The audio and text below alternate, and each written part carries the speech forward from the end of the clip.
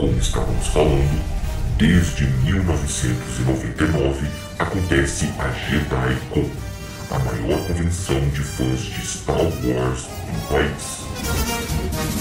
As primeiras edições foram apenas em São Paulo e no Rio de Janeiro. Porém, outros estados também já tiveram edições do evento, como Rio Grande do Sul e o Tocantins.